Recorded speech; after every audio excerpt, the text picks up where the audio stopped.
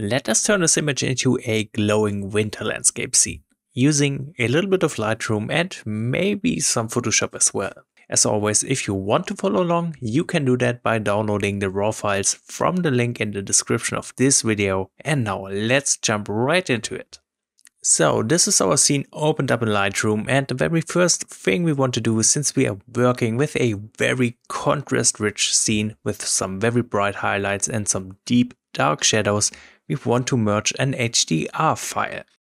Down here you can already see the HDR sequence which we are going to use, so make sure to select all five images down here, right click, then choose photo merge and choose HDR.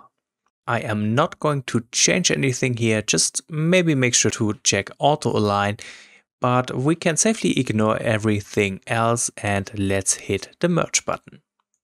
Okay, so this is our HDR. It doesn't look much different than before, but we can do a lot more thing with such a file. And of course, the very first thing we want to do with the editing are the basic adjustments. So let's expand the basic panel and we can start things by changing the profile. Instead of Adobe Color, I want to go with Adobe Standard. The reason here is it makes the image just a little more neutral with less contrast. So I just have a little more control over that myself. Now I want to make the shot a lot brighter first, so I'm going to bring up the exposure until I get some details in those very dark areas of the image, just like that. Then I'm also going to bring down the highlights all the way down. Since we're working with an HDR file, we can safely do this. And bringing down the highlights will reveal all these nice details in the sky which we need in order to create this glowing landscape scene. I also want to bring up the shadows just to get a little more detail out of these darker areas and I want to slightly raise the blacks as well. Raising the blacks and the shadows like this does also help with creating this dreamy soft look since we are effectively reducing the image's contrast and that just works well together with that glowing effect. Speaking of contrast, I want to add a little bit of overall contrast just to also introduce some punch to this image. And at this point, I think it's time to work on the white balance. I do like the colors, however, I want this shot to feel a little bit warmer. So let's use the temperature slider and bring it up. I'm going to introduce quite a bit of temperature here because I want the sky to be almost this golden-like color. And then I'm not going to touch the tint because I think those tones do look quite good. Next, I want this image to have some very sharp small details. So that's a reason for me to bring up the texture a notch. I'm also going to introduce a little bit of clarity and now what I really love doing to create this glowing effect is to bring down the dehaze. You can see it very clearly when looking at the edge of this building, for example, how negative dehaze adds some very, very nice glow on top of it. So let's bring it down quite a bit. I love how this looks. And then I also want to bring up the vibrance. So we can safely raise it since we almost have no colors in here due to that snow and those gray dark clouds. Uh, so I'm going to bring it up like that. And I think we already have our base image edited. We can take a look at before and you can see a clear difference. The image looks much warmer. It's also much brighter. And of course we have this glow already added on top using the negative dehaze. So at this point, let's apply a little bit of masking. I want to start by making the sky just a little bit darker. I'm using a color range mask and I want to make the sky darker, not the clouds. So I'm going to click right in here. And this unfortunately will also select some clouds. I'm going to make use of the refine slider and just slightly bring it down. And since I only want to affect the top part of the sky, I'm going to click on those two dots choose intersect mask width and choose linear gradient. With that linear gradient, I'm just going to cover the top part of the sky, just the area which I want to change. And here, let's try bringing down the exposure, just to add a little more contrast here. And now let's also bring down the blacks for even more contrast in the very top part of the sky. That looks great. Next up, I think that the foreground could use a little more detail. I'm going to use a radial gradient roughly covering this thing. And in here, I want to bring up the shadows very gently. And I also want to add a little bit of clarity. Okay, that looks great. I further want to work on the sky. I'm going to choose a sky selection mask. And I guess this sky selection mask is very, very unprecise, as you can see, as it's overlapping the landscape. I want to try to make it more precise by using that intersect trick I'm often using. So let's go hit those three dots, go to intersect mask with and choose select sky. This does make the sky mask a little more precise but still not perfect. But that's not a big deal. Let's just say subtract and use a radial gradient. Now with this radial gradient I am covering pretty much the whole width of the image and I do think that's quite good like this. What I want to do with this selection, I want to make the sky just a little bit warmer by further bringing up the temperature slider. And we could also bring up the saturation so the colors are a little more visible in here. And maybe we could even use some clarity, just a little bit, to add some punch to these clouds. Okay, that looks good. I do want to work a little more on this glowing effect. I'm going to use a few radial gradients. So let's first create one like this.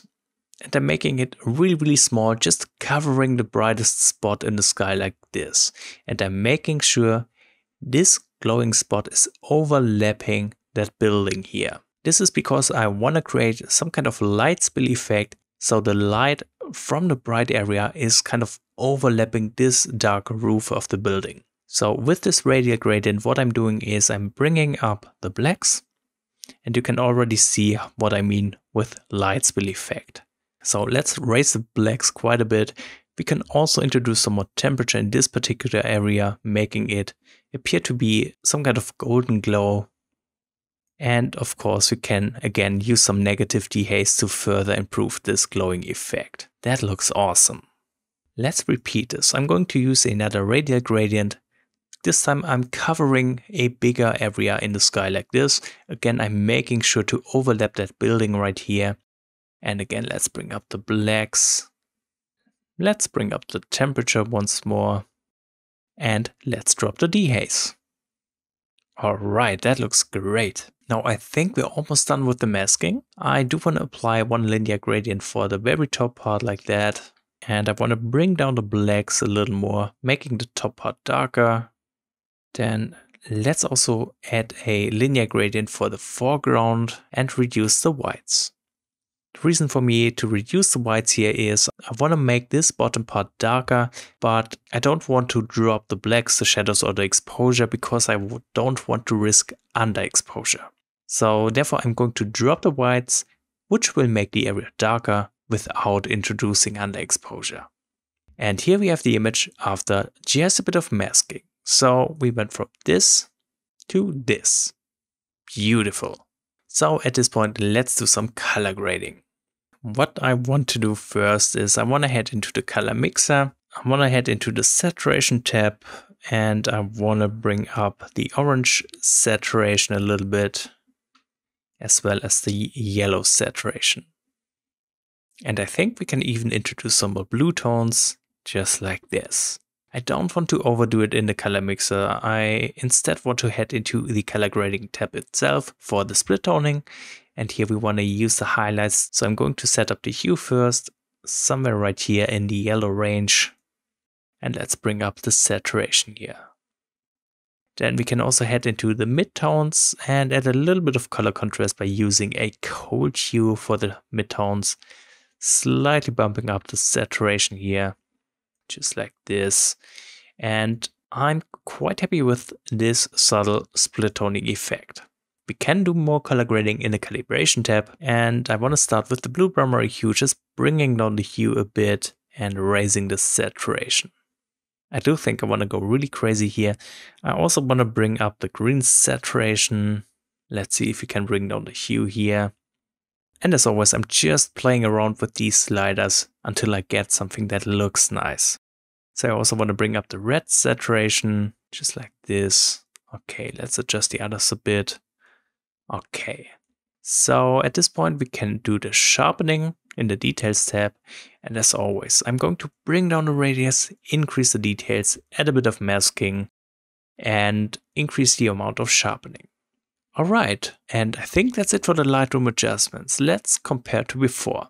You can see the glowing effect is really really nice on this image with the bright light coming from the sky. I'm also quite happy with the colors. However, we do need to clean up this image and I think I might even add a little more glow in Photoshop. That's something I can unfortunately not do in Lightroom. So right click the image, go to edit in and choose Photoshop. Let's first clean up the image. I'm going to hit Ctrl J to duplicate that layer to have a backup. First, I think the image is kind of skewed. I want to create a guideline just to be safe here. And you can see how this part of the hill is slightly lower than the other side.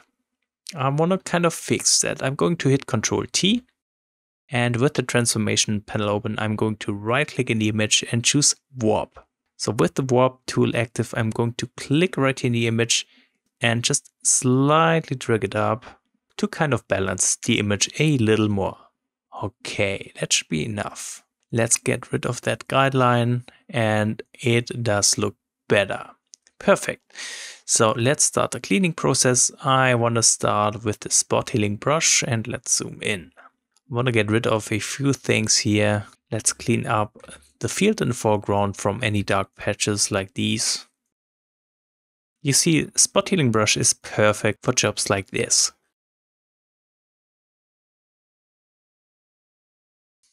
Okay, but that looks good, I guess. I think we're almost done. I still want to add a little more glow. So let me create a new layer, switch the blending mode to hard light, and then let's grab the brush by pressing B bring down the brush opacity. This is very important to make this glow effect subtle and not too overwhelming. And we're going and we're going to pick up a color tone from right here in the bright part of the sky. We could make it a little more vibrant, changing the color a little more. Okay.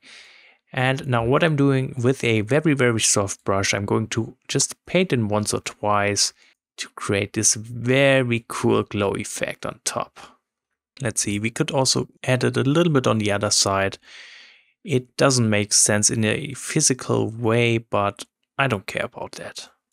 All right, that looks awesome. So another thing I want to do is I want to dodge the foreground a little bit. So let's create a new layer, switch the blending mode to overlay. And to select the highlights of the foreground, I'm going to hit Control Alt 2. And you can see this selection going on right now. With the selection active, I'm going to click the layer mask icon and this will create a very basic luminosity mask for us. And with this layer, what we want to do is to grab the brush once more, set the foreground color to white because we want to dodge things. And let's bring the opacity of the brush up very, very slightly. And now what I'm doing is I'm just going to paint over a few areas in the foreground just making it slightly brighter. This in fact might be a little bit too much, so let me bring down the opacity here. Want to keep it subtle, but this is looking very, very good. And I guess that's it for editing this dreamy landscape image. So I hope this tutorial was interesting and helpful, although it was not completely done in Lightroom. Let me know if you have any questions about the editing or want to add anything. So thank you guys for watching and see you guys next time.